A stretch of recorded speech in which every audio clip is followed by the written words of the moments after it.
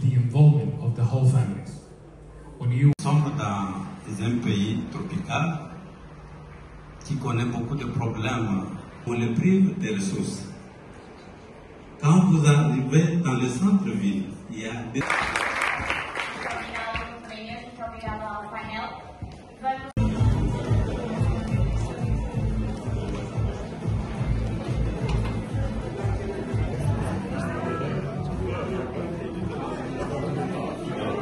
Bugün e, Portekiz'de Uluslararası e, Demokratik Katılımcı Gözlem Evi Zirvesi'nde iklim dirençliliği sunumumuzu gerçekleştirdik.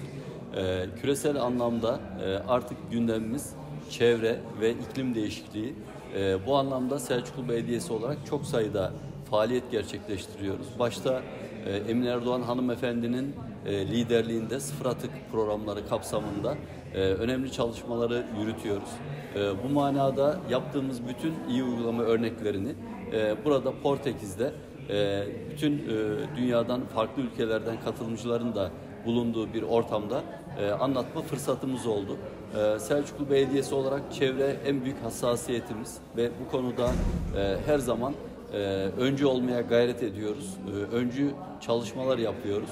E, bu kapsamda sıfır atığın e, ülkemizdeki uygulama örneklerinde Selçuklu Belediyesi olarak e, en başta e, sıfır atık müdürlüğünü kurmuş olmamız, çevre meclisini oluşturmuş olmamız, sıfır atık platformunu bütün toplumun e, katmanlarının katılımıyla gerçekleştirmiş olmamız önemliydi.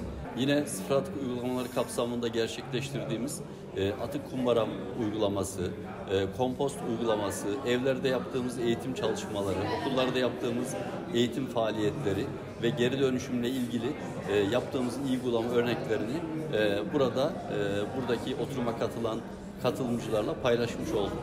E, her zaman çevreyi önemsiyoruz iklim değişikliğiyle ilgili e, yapmamız gereken önemli işler olduğunu biliyoruz. İnşallah önümüzdeki süreçte de Selçuk Belediyesi olarak bu çalışmalarımızı en güçlü şekilde devam ettireceğiz.